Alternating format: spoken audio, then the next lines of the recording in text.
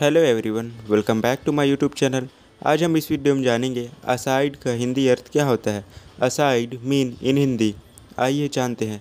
Aside को हिंदी में कहते हैं तरफ़ या अलग। तरफ़ या अलग। आइए इसे एक एग्जांपल से समझते हैं। He put the book aside he put the book aside इसका हिंदी अर्थ होगा, उसने किताब को एक तरफ़ रख दी। उसने किताब को एक तरफ़ रख दिया। ऐसे ही रोज़ाना नए वर्ड्स का हिंदी और इंग्लिश मीनिंग जानने के लिए हमारे यूट्यूब चैनल को सब्सक्राइब करें और अगर आपको हमारा यह वीडियो इन्फॉर्मेटिव नॉलेजेबल लगता है तो इस वीडियो को लाइक कर अपने दोस्तों के साथ ज़रूर शेयर करें। Thank you for watching my videos